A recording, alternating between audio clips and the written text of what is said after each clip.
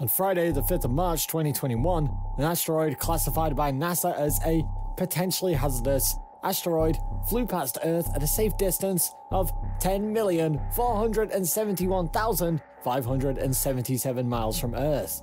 But then, it's going to be coming back again in 2019, and we're going to be answering them today in this video. So stick around until the end as we critically examine all there is to know about the asteroid that might hit our planet in 2029. Apophis 99942 is an asteroid that has caught the attention of both scientists and the media given certain special characteristics and factors surrounding the asteroid. Apart from the fact that Apophis is one of several near Earth asteroids and space debris that will be flying too close to the Earth, there are both advantages and disadvantages we can derive from this celestial flyby. An advantage is when it flies by, we'll be able to study specifically its shape, size, probably its interior composition.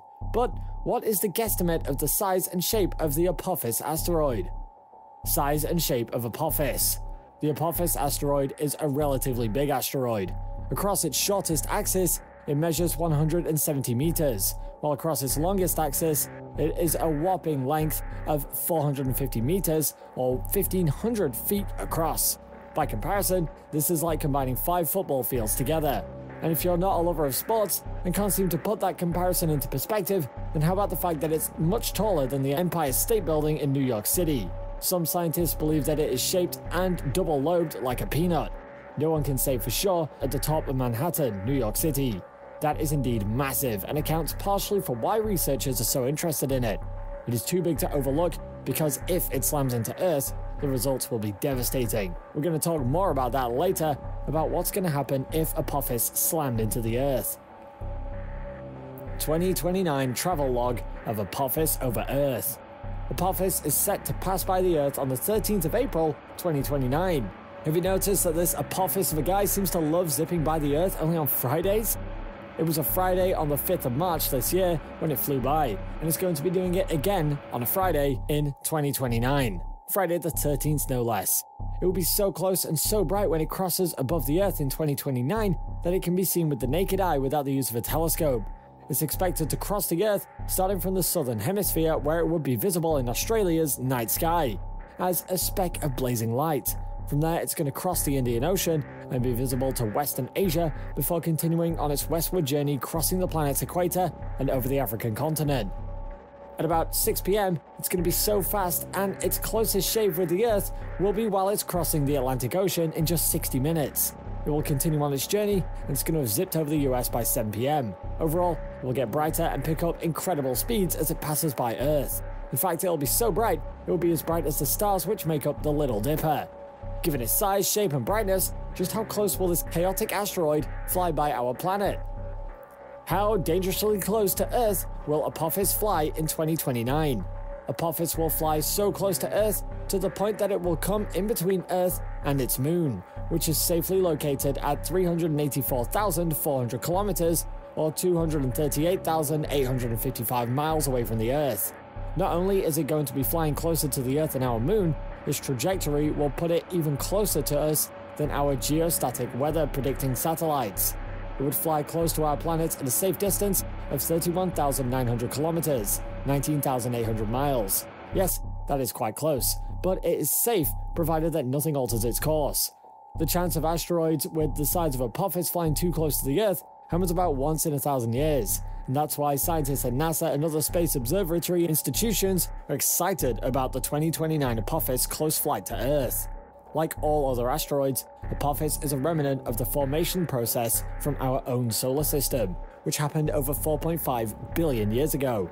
Apophis must have gotten separated millions of years ago from the main asteroid belt, which is located between Mars and Jupiter, and the gravitational force of a planet as large as Jupiter might probably have been responsible for the asteroid's separation from its main belt. Since then, it has and will continue to rotate around the Sun, with the orbit and rotation cycle changing slightly upon every completed rotation cycle. Let's move on to more realistic questions. What would happen if Apophis impacts with the Earth? Apophis impacts. What would happen?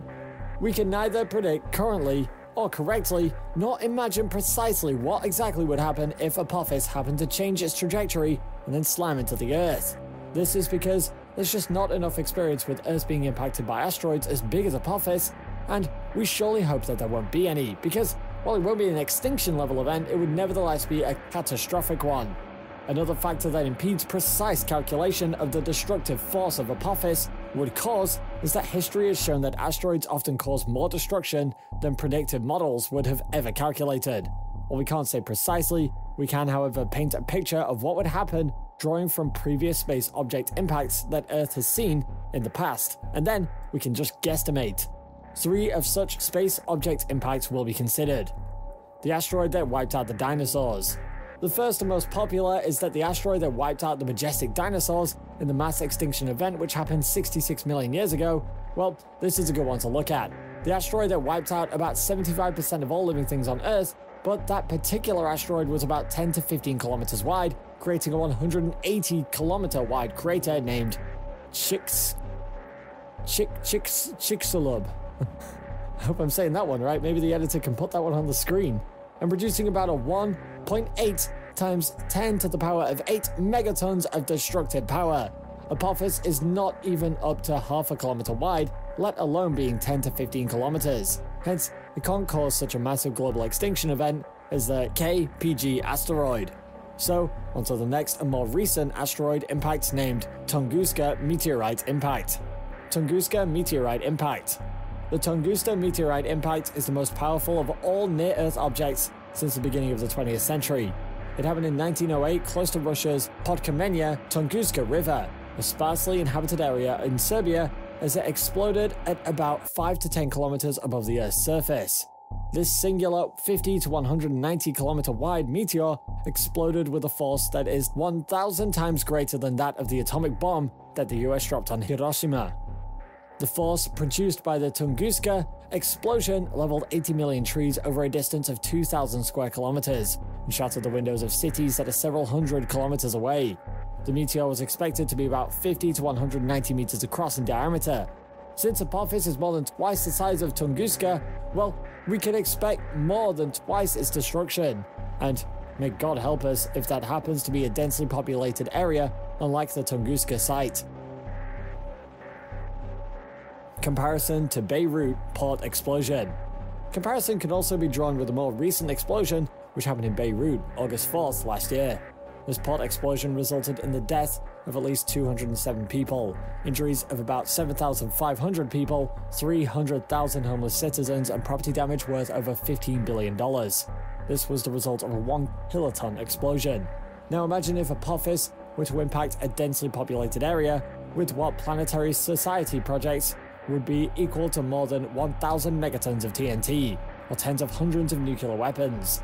This is definitely not something we want to see, and that's why scientists are working around the clock to ensure that even though the projected trajectory of Apophis puts us in a safe 2.7% chance of impact, nothing is to be left to chance. Researchers say that at least 10 years prior notification is needed if Earthlings wish to avoid or deflect a near Earth object, NEO impact, such as the Apophis asteroid. Thankfully, Apophis was discovered 25 years early and preparations are already ongoing.